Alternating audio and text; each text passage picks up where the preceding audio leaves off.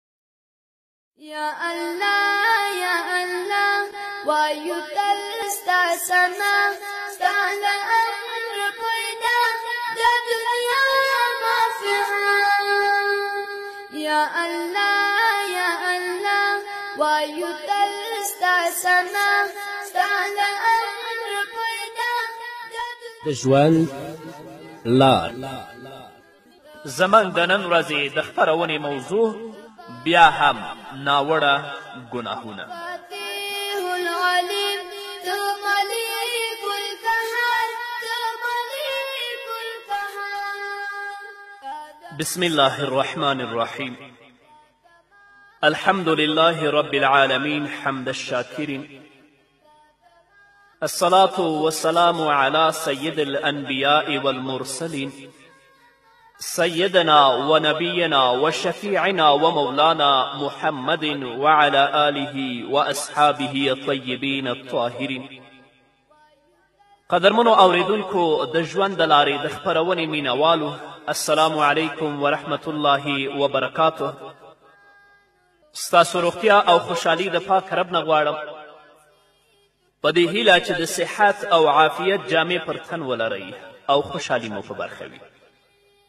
دا دی زه محمد یاسین فهیم د ژوند د لارې د خپرونې په وړاندې کولو کې ستاسو په خدمت کې یم زموږ د نن ورځې د خپرونې موضوع بیا هم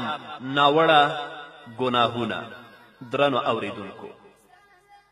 د ناوړه ګناهونو له جملې څخه یوه ناوړه ګناه دا ده چې د چا نه په دې نیت باندې قرض او پور واخلې چې بیرته به نه ورکوم دا ځکه چې د الله رب العزت په وړاندې د بندګانو حقوق ډیر معتبر دي انسان خو د توبې په کولو سره د الله رب العزت له حقه خلاصېدلی شي مګر د حقوق العباد د ورکړې پرته یې بله چاره نشته نو انسان ته په کار ده چې وړاندې له هغې ورځې خلکو ته خپل حق وسپاري چې د درهمو او دینارو په وسیله به حق نه ورکول کیږي بلکه د نیکیو په وسیله به حق ادا کیږي لکه چې الله رب العزت په سورت نسا کې اته پنځوسم آیت کې فرمایي ان الله یامرکم ان تؤدوا الامانات الی اهلها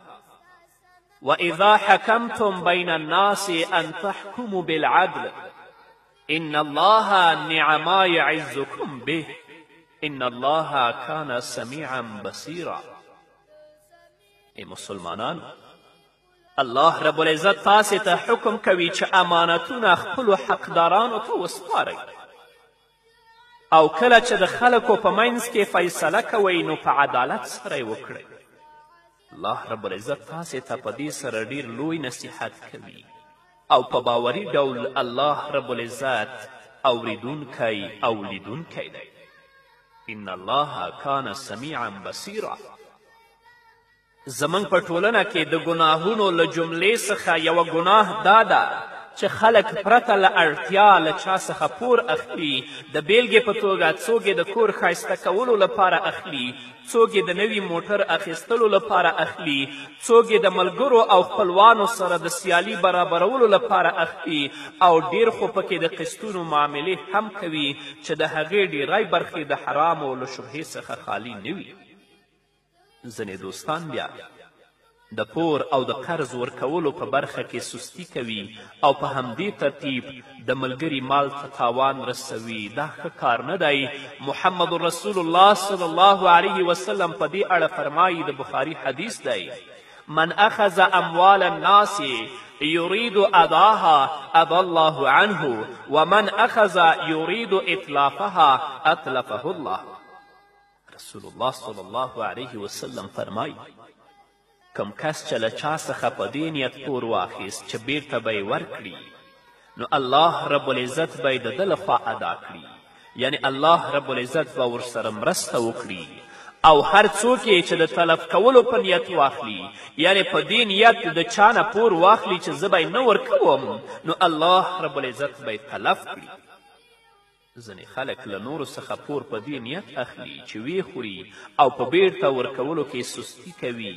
نه یوازې سستي کوي بلکه دغه کار معمولي بولي په داسې حال کې چې دا کار د الله رب العزت په وړاندې ډېر سخت او خطرناک دی. شهید د خپلو بېشمېره خوبیانو، مرتبو، درجو، فضیلتونو او امتیازي خصلتونو سره سره د پور له پیټي څخه نشي وتلی او د دې خبرې دلیل د محمد رسول الله دا حدیث دی چې نسایي روایت کړی سبحان الله ماذا نزل الله من التشديد في الدين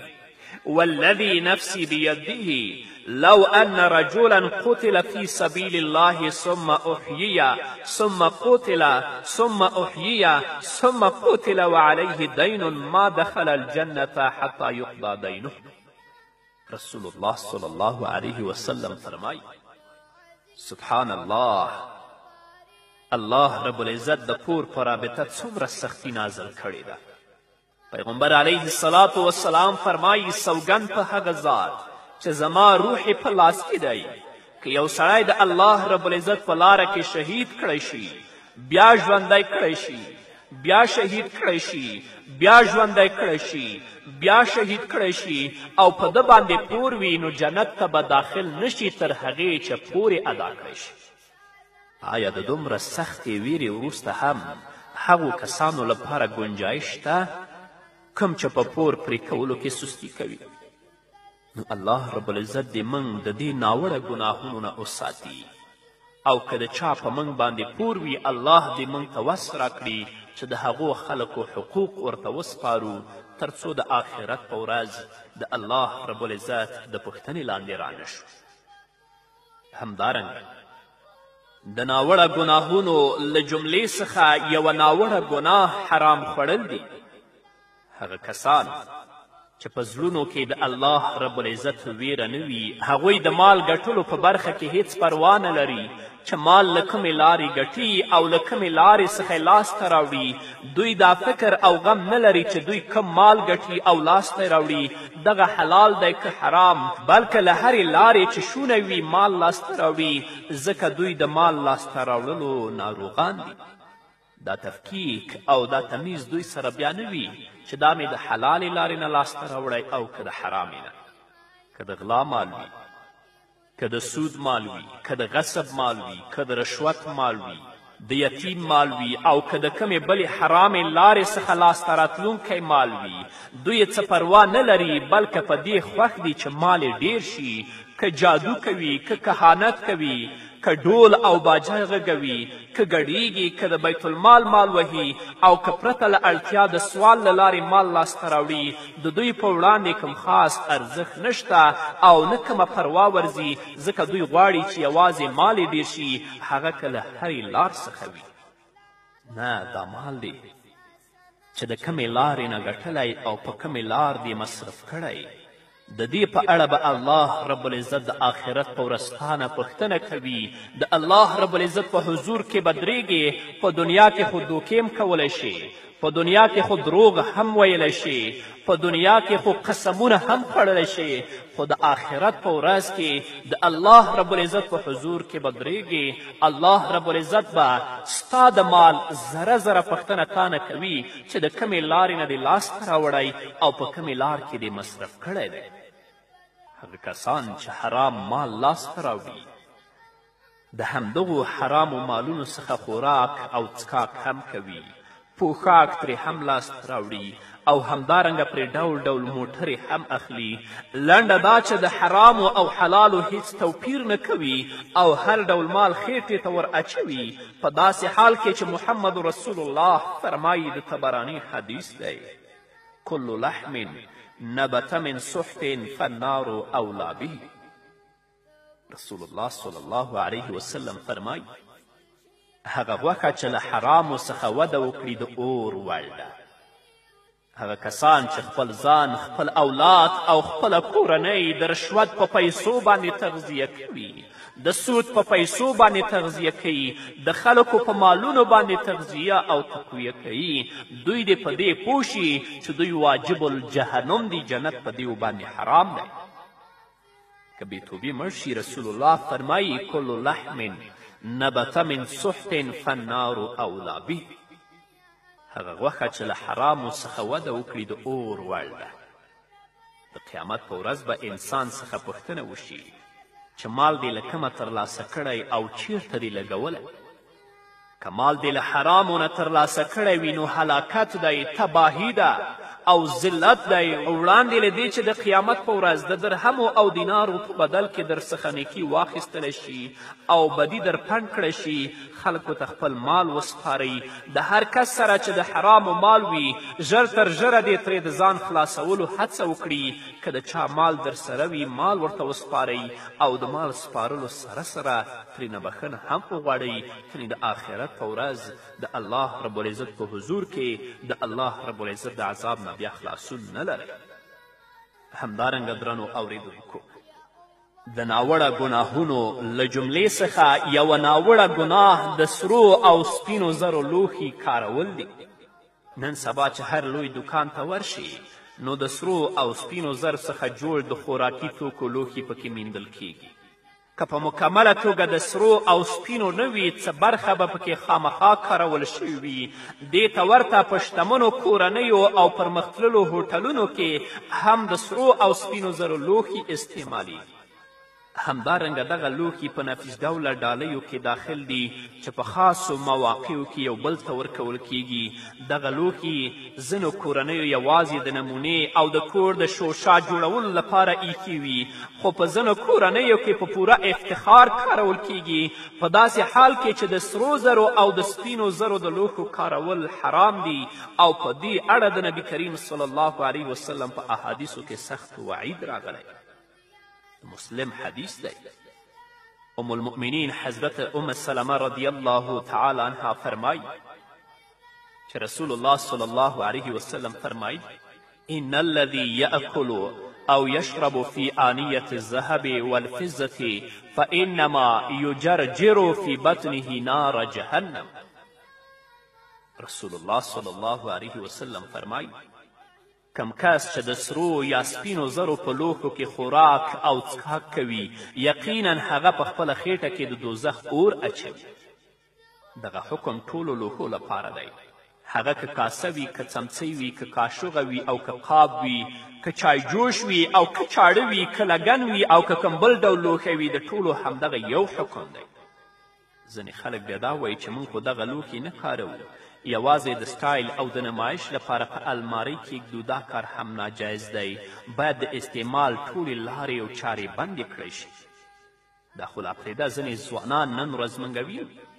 چې د سرو زرو ګوتمه یې په ګوته کې اچولي یا د سرو زرو لاکت په غاړه کې اچولی نه دا کار یو مسلمان ځوان سره نه ښايي، د سرو زرو استعمال د نارینه و لپاره حرام دی او په دې اړه به الله رب العزت د آخرت په ورځ د همداسې ځوان نه پوښتنه کوي. ځوان خو لا پرېږده، ځینې بوډاګان او سپینګیري هم دي چې غټه د سرو زرو ګوته یې په ګوته باندې اچولی، دا د کوم څیز شوق؟ په سپینه ږیره باندې د الله نه وویریږه الله ته سر په سجده شه د خپلو ګناهونو بخښنه د الله نه وغواړه چې الله دې معاف کړي د دې سرو زرو په استعمال باندې د الله رب العزت د عذاب نه نشي خلاصېدلی الله رب العزت دې موږ او تاسو ټولو ته د نیکو لارو هدایت وکړي په همدې هیله درنو اورېدونکو نور به هم واورو خو دې ویدمې نه وروسته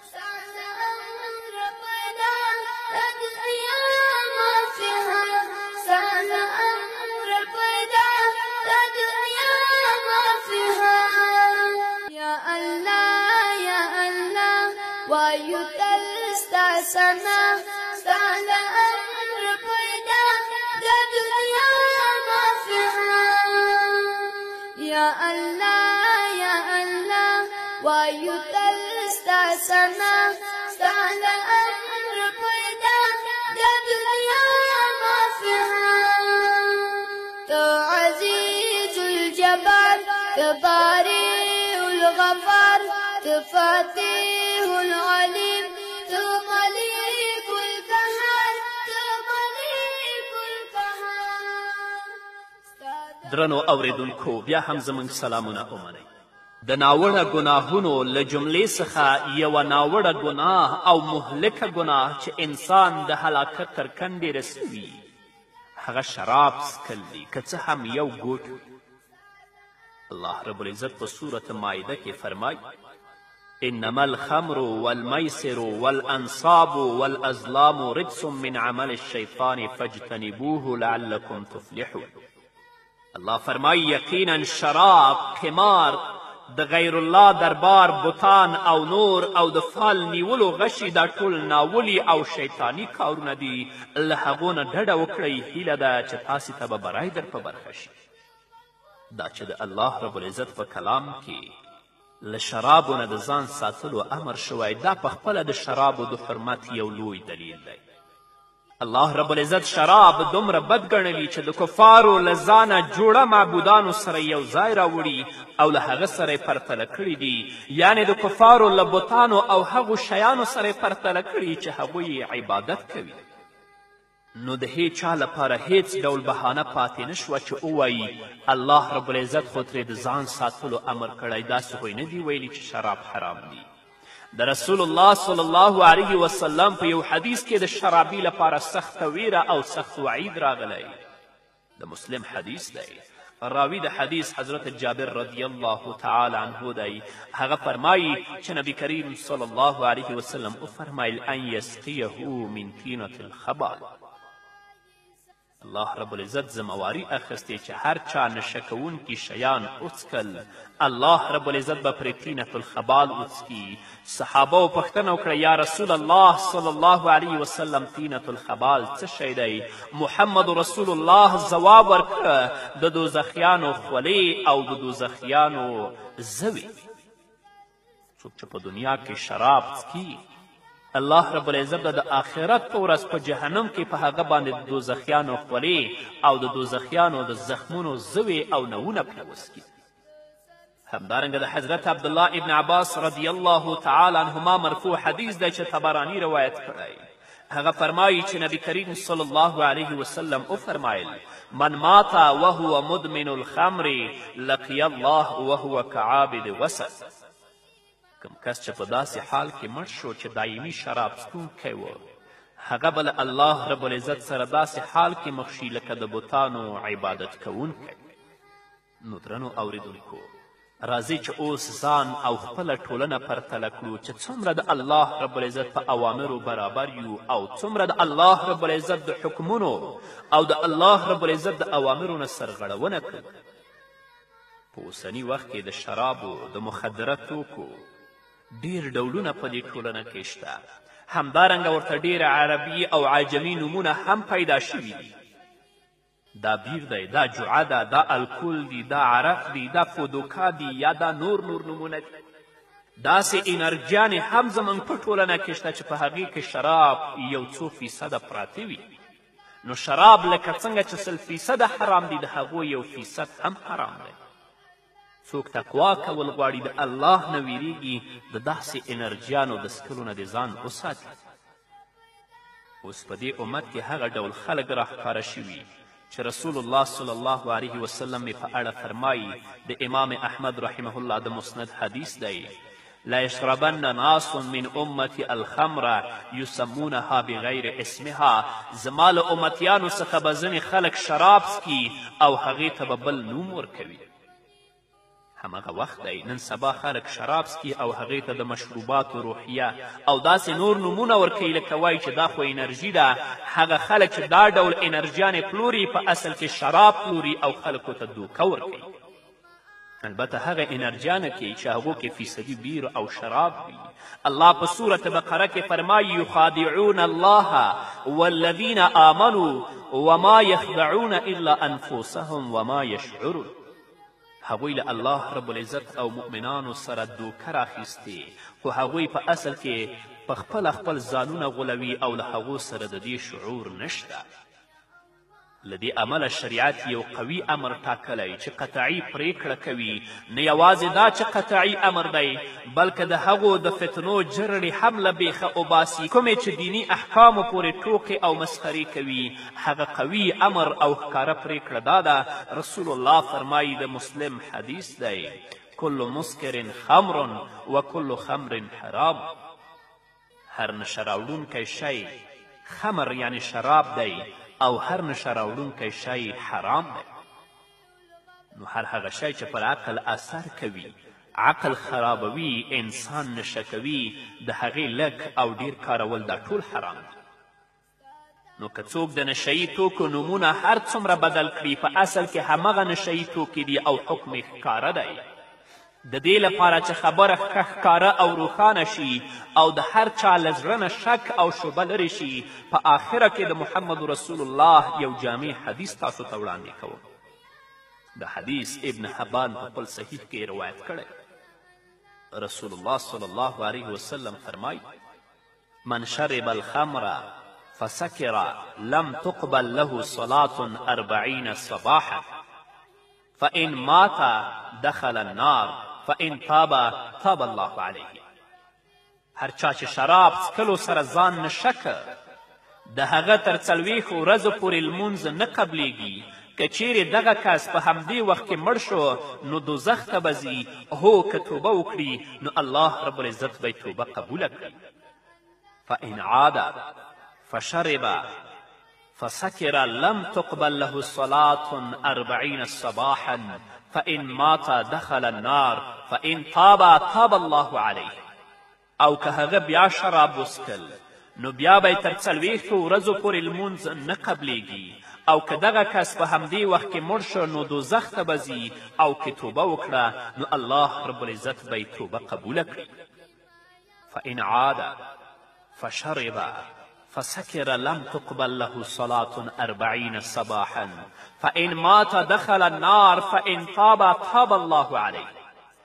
که هغه بیا شراب وڅکل او ځان یې نشه که نو بیا به تر څلوېښتو ورځو پورې لمونځونه قبلیږي او که په همدې حالت کې مړ شو نو دوزخ ته به ځي او که چیرې توبه وکړه نو الله رب العزت به یې توبه قبوله کړي فان عاد الرابعه کان حقا علی الله ان یسقیه من طینة الخبال یوم القیامة قالوا یا رسول الله صلی الله علیه وسلم وما طینة الخبال قال عصارة اهل النار خو که چیرې په څلورم ځل بیا شراب وڅکل او ځان یې نشه که نو د الله رب العزت حق دی چې په دغه کس باندې د قیامت په ورځ تینت الخبال وڅکي صحابه و کرامو پښتنه وکړه ای د الله رسوله تینة الخبال څه شی دی؟ رسول الله صلی الله علیه وسلم وفرمایل د دوزخیانو وینې او زوی کله چې د نشهیي توکو د کارونکو داسې بد حال دی نو د هغو خلکو به څه حال وي کوم چې له دې نه هم خطرناکه مخدره مواد کاروي یعنې داسې مواد چې د دوی عقل خرابوي نن څومره بدبختي ده زمونږ او ستاسې په ټولنه کې الله دې په مونږ رحم وکړي د نسوارو نه سګرټ شي د سګرټو نه چرس شي د چرسو نه تریاک شي د تریاکو نه پوډر شي د هغه نه بیا شرابو ته ورسیږي نه اکم شی چې د شروع ده د هغه نه ځان وساتئ چې الله رب العزت در باندې رحم وکړي په همدې هیله درنو اورېدونکو دا وه زموږ د نن ورځې خپرونه چې ستاسو درانه حضور ته وړاندې شوه